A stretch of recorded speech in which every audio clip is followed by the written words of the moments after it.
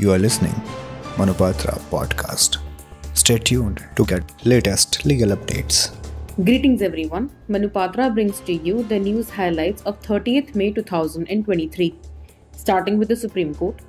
The Supreme Court has dismissed a plea challenging the rule requiring JEE advanced candidates to have at least 75% aggregate marks in class 12th or equivalent, which was waived during the COVID 19 pandemic but has subsequently been revived. News highlights from the High Courts. Starting with the Delhi High Court. The Delhi High Court has issued notice on plea moved by National Investigation Agency seeking death penalty for Kashmiri separatist leader Yasin Malik, who was convicted in connection with the terror funding case.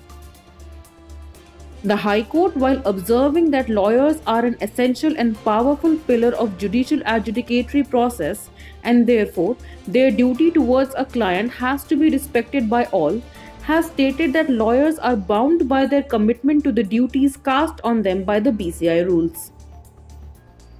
The High Court has rejected the bail plea of former Deputy Chief Minister Manish Sisodia in a case alleging corruption in implementation of excise policy for 2021 to 2022 on the ground that allegations are very serious in nature. News highlights from other high courts in the country. The Allahabad High Court has observed that Section 106 of the Indian Evidence Act cannot be attracted in a case unless prosecution prima facie discharges initial burden of establishing guilt of accused.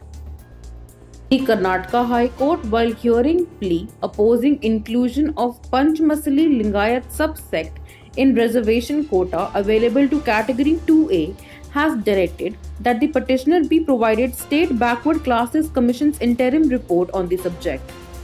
This concludes the news for today. Thank you so much.